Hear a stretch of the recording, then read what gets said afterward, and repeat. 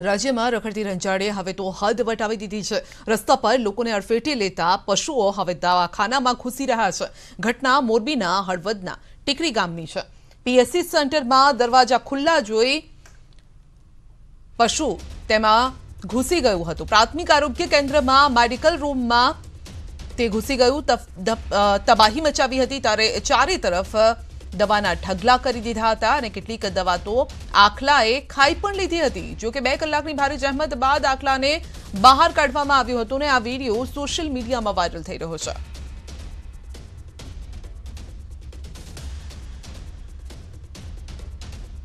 તો રસ્તા પર રખડતી રંજાડ હવે દવાખાનામાં ઘૂસી ગઈ છે આપ જોઈ શકો છો મોરબીના આ દ્રશ્યો છે આખલાનો આતંક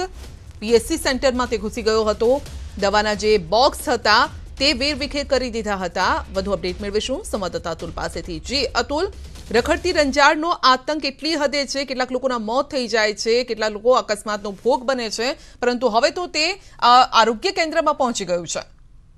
સંધ્યા ચોક્કસથી વાત સાવ સાચી છે કે જે ઘણકૂટનો ત્રાસ છે અતિશય વધી ગયો છે મોરબી શહેરમાં પણ ઘણકૂટનો ત્રાસ મહદઅંશે હતો. અત્યારે અત્યારે જે આરોગ્ય કેન્દ્ર જે હળવદનું છે, ત્યાં ધણકુટ છે તે આરોગ્ય કેન્દ્રમાં ઘૂસી ગયો હતો અને જે ટીકર ગામનું મેડિકલ સ્ટોર રૂમ છે તેમાં ઘૂસી અને દવા સહિતના બાટલા અને જે તમામ પેકેટ છે તે ખાઈ ગયો હતો. તો બીજી બાજુ જો આ જગ્યાએ કોઈ દર્દી સારવાર હેઠળ હોય એના ધણકૂટ જો તેને નુકસાન પહોંચાડે, તો કઈ પ્રકારની મુશ્કેલી થાય તે હાલ જે વીડિયો ઉપરથી દેખાઈ શકાય છે. સંધ્યા. જી જી. આપનો આભાર, અમારી સાથે જોડાવા